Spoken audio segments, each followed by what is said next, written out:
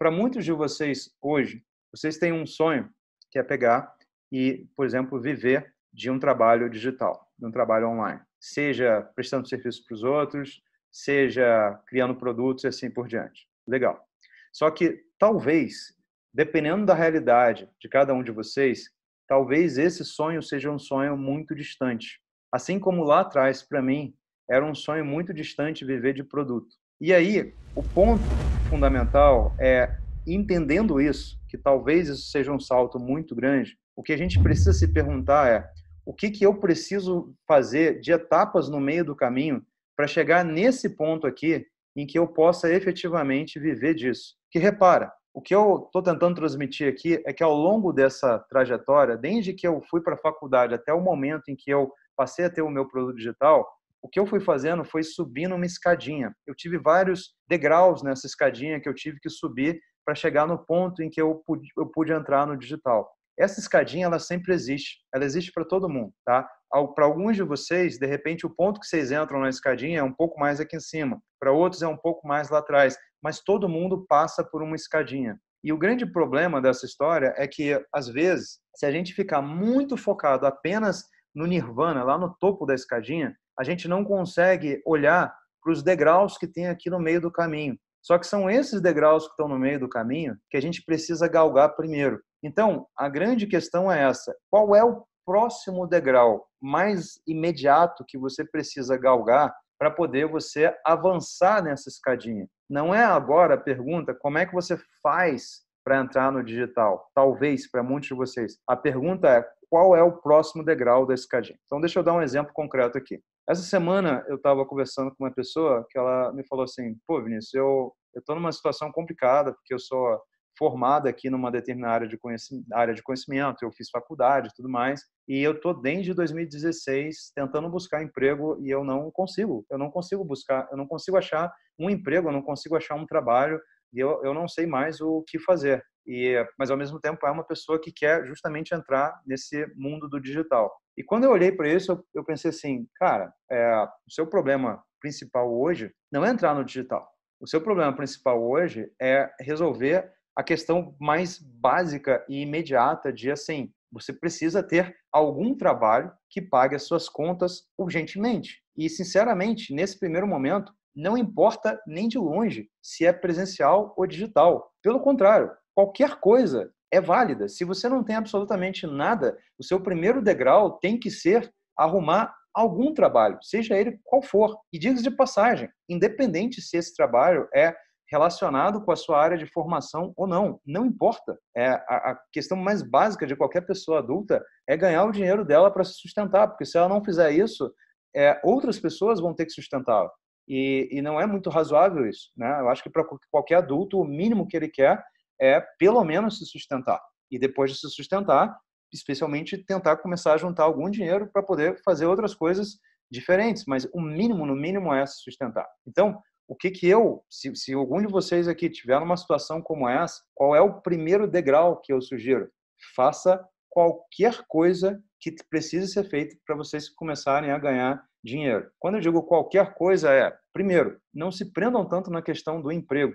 É, a gente tem um é, essa coisa de ficar viajando, ela, ela, ela traz para a gente a possibilidade de ver umas coisas interessantes. Né? Então, por exemplo, na Europa, a gente percebeu, é, praticamente em todos os lugares que a gente já foi na Europa, ou na maioria absoluta, que as pessoas elas são extremamente voltadas quase que exclusivamente a buscar emprego. Ninguém pensa, ou muito pouca gente pensa em empreender, e menos pessoas ainda pensam em é, agem no sentido de empreender de fato. Todo mundo é voltado para ter um emprego.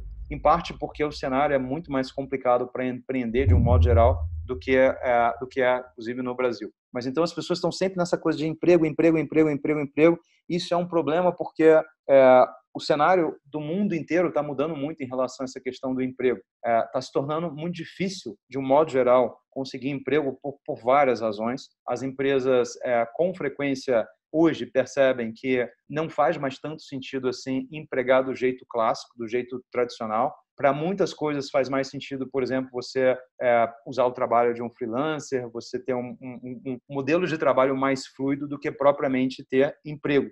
Então, quando a gente fica nessa neura de buscar emprego, a gente está com um problema por si só, porque emprego é uma coisa cada vez mais complicada. Beleza, Vinícius, mas e aí, qual é a alternativa para isso? É, se você tiver em muitas partes do mundo, incluindo a Europa, por exemplo, a alternativa não é nada trivial, porque é extremamente difícil empreender. Mas o Brasil, apesar de todos os seus problemas, ele tem um aspecto muito bom. No Brasil, é, você pode, de um modo geral, vender qualquer coisa que você quiser na rua. Mas, Vinícius, espera aí, eu fui para uma faculdade, eu me formei, eu não estudei anos para isso.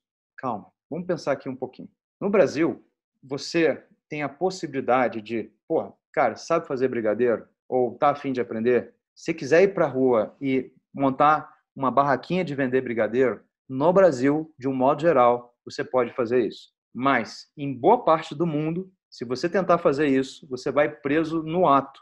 Eu não estou de sacanagem. A gente tem um exemplo, a gente tem hoje é, uma pessoa que trabalha com a gente fazendo edição de vídeo. É um rapaz e ele morava no Brasil até pouco tempo e ele foi recentemente morar no, uh, no Japão. E aí, lá no Japão, ele uh, está morando lá porque está fazendo um estudo lá e tal, não sei o quê. E aí ele, ele falou assim, eu vou complementar minha renda, eu vou vender uns negócios aqui. Então ele viu que tinha umas coisas lá que ele podia vender na escola dele. Quando ele chegou na escola dele e falou para a coordenadora lá para pedir licença, né, para vender, ela falou para ele: se você fizer isso aqui, você vai ser preso e deportado. Tipo, oi?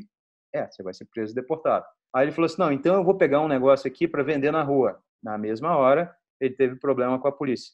Por que eu estou falando isso aqui para vocês? É só para vocês entenderem o seguinte: no Brasil, qualquer pessoa que quiser ganhar dinheiro sem necessariamente ser com emprego, Qualquer pessoa que estiver disposta a ganhar dinheiro vai poder ganhar dinheiro vendendo algo na rua. Qualquer pessoa. E esse algo pode ser qualquer coisa.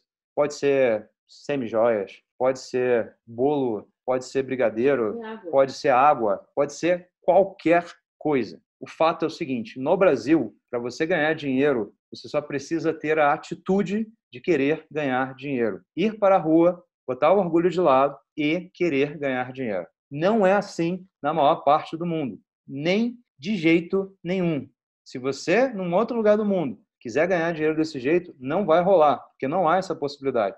Mas no Brasil há essa possibilidade. E eu estou falando isso aqui de novo, por quê? Por causa dessa história dos degraus que eu estava falando. É muito complicado a gente fazer uma mudança na nossa vida sem ter um mínimo de margem de manobra financeira.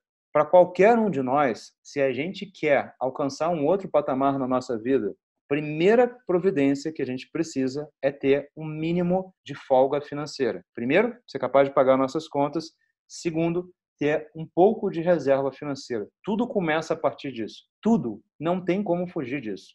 A gente não melhora de vida sem resolver a parte financeira primeiro.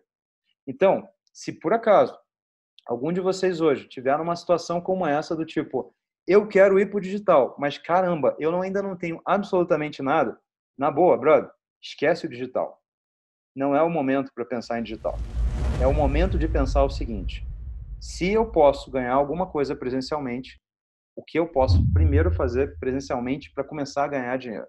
Começou a ganhar dinheiro, as coisas começaram a entrar nos eixos financeiramente, aí você pode voltar a pensar no digital, mas ainda não é o momento. É exatamente o exemplo que eu falei do que eu vivi lá atrás. Lá atrás, quando eu comecei a empresa, eu queria vender produto.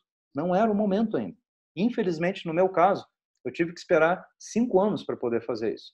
Faz parte, mas eventualmente chegou o momento e aí eu estava preparado financeiramente para aproveitar esse momento.